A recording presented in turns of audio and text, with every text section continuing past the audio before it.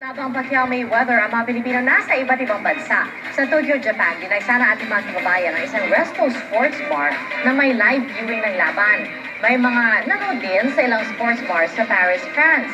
Pero hindi lang mga Pinoy ang nakicheer sa kanilang manok sa Battle for Greatness, kundi maging ilang French at Breton. Maaga naman nagbukas ang mga kilalang bar sa Hong Kong para sa live viewing. At Filipino food ang karamihan sa mga inihain sa mga manonood bilang suporta sa pambato ng Pilipinas. At hindi nagpahuli ang mga nasa California Washington DC sa Amerika, gayon din ang mga nasa Dubai. Libre ang nakapanood sa isang Philippine supermarket ang maraming Pinoy at umabot pa hanggang labas ng tindahan ang mga nanood.